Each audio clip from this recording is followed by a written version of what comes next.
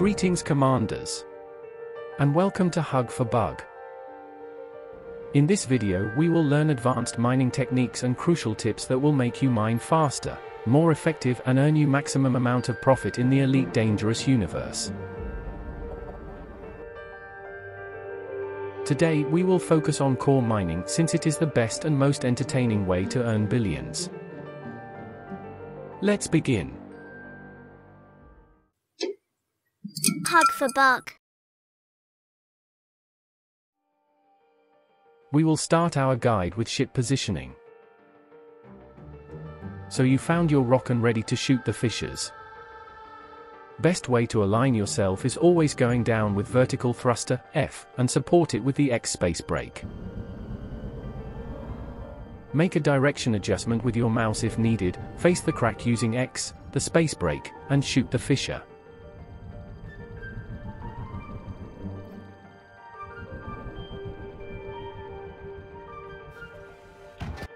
Since the asteroid is rotating most of the time, using one-way direction will make things easier for you.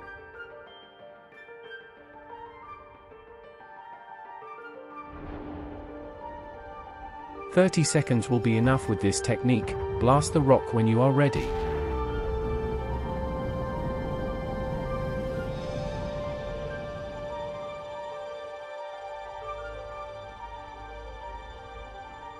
The right asteroid with the core is not hard to find, but it takes time. Within a good hotspot, you are supposed to find the rock with the right core every 2 minutes.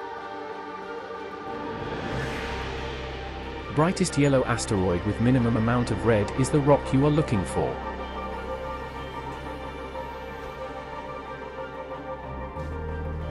After some time and experience, you will spot the rock immediately.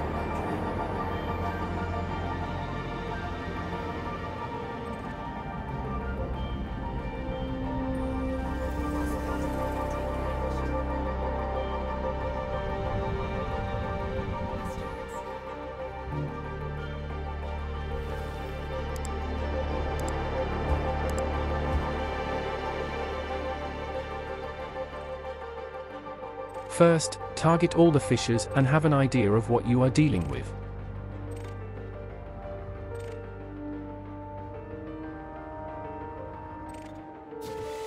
Always start with the high, finish them all and move to average.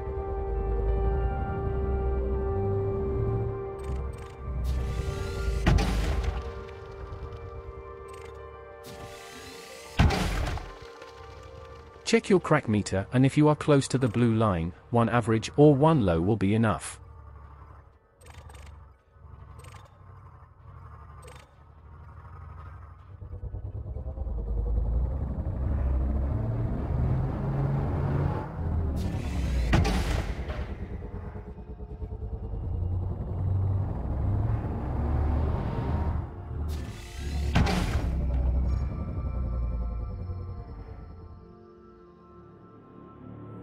Every asteroid have different amount of cracks, so the only working formula is shooting high to low.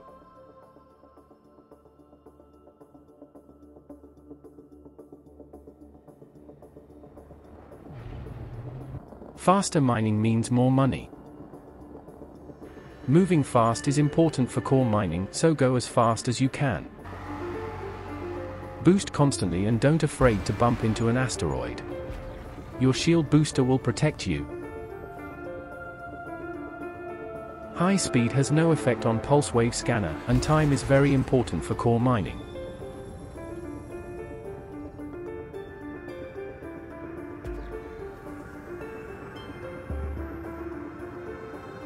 After arriving to the hotspot, always face the planet and go towards it so you won't make circles and revisit your dust.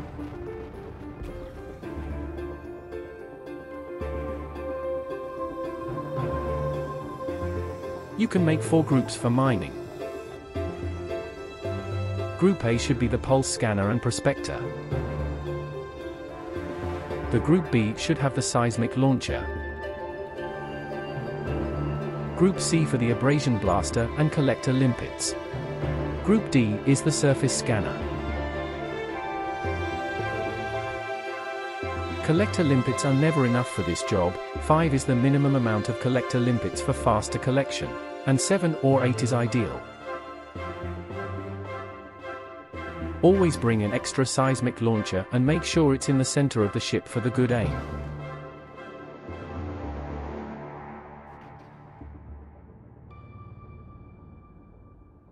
The first thing you should do before mining is to check in our website for the highest valued mineral.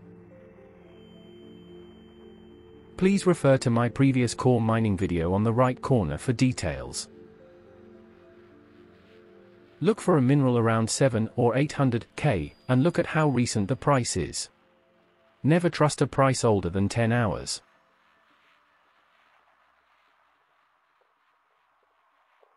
Before you mine, go to the system you will sell the minerals and find a metal-rich ringed planet close to it.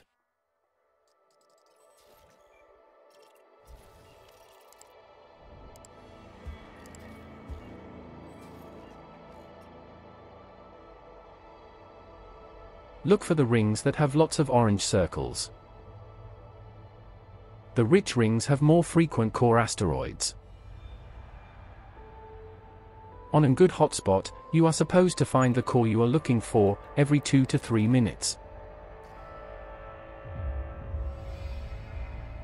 If it takes around 5, it means it's a bad spot.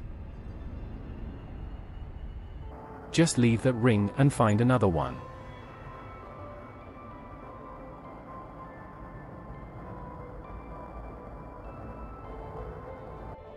If you are constantly finding other cores than you are looking for, it's an ugly spot.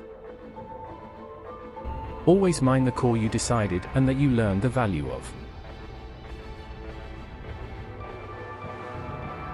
Core mining needs a ship with a good maneuverability, decent speed, and a good cargo hold. Best ship for this is the Python, by far. It is almost designed for core mining.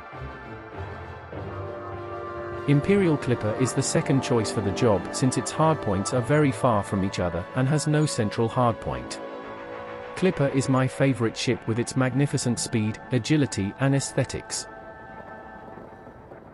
Krait is the third choice, capable for sure but ugly for many pilots.